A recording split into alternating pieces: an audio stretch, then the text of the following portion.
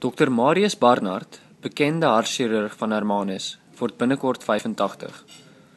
Prostaatkanker is 15 jaar gelede by hom gediagnoseer en 'n boek oor sy stryd met die siekte, I Hate My Prostate, gaan eersdaags verskyn. Die burger se Elsbie Brits het met hom en sy vrou gaan gesels oor hoe die siekte hul lewens beïnvloed. Wat was die invloed van kanker in jou lewe? My my diagnose was 15 jaar gemaak. Uh, toe ek die resultaat kry as 'n dokter, resultaat kry was ek absoluut gebroken, het my hele lewe in mekaar gegooi. Ek kon nie geglo dit my gebeur nie.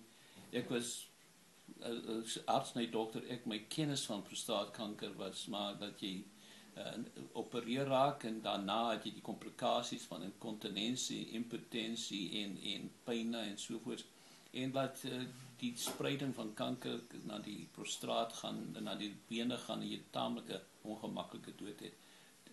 En en dit is die belangrike ding in die begin. Maar soos ek verder gegaan het en meer begin te uit uitvind het, het ek meer positief geraak en begin te behandeling te kry. Ek het 'n operasie gehad. Ek het ekstra behandeling gehad. Ek het alles gehad en 15 jaar daarna is ek nog aktief met 'n redelike lewe. Maar eh, kanker van prostaat, ek dink alle ander kankers ook. Jy lewe met dit elke dag. Jy gaan slaap met dit en jy word wakker met dit. En dit domineer jou lewe. Maar ongelukkig is die kanker nie net jou siekte. Almal sê voort tog, avoid tog almal Maria sê prostaatkanker. Maar niemand besef hoe dit my vrou beïnvloed nie. Sy het die die die patologiese prostaatkanker, maar sy het die psigologiese en prostaatkanker.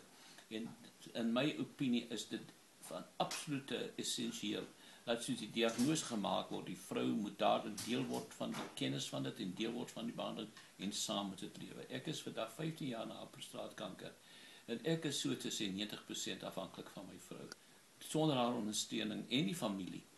So prostaatkanker die die die die vrou of die partner moet moet deel wees van dit en ook die familie. Almal moet van dit weet, almal moet weet en so aan en en as die behandeling voorgeskryf word moet sy daar wees en sy moet deel wees van dit om te weet wat wat dit gaan affekteer.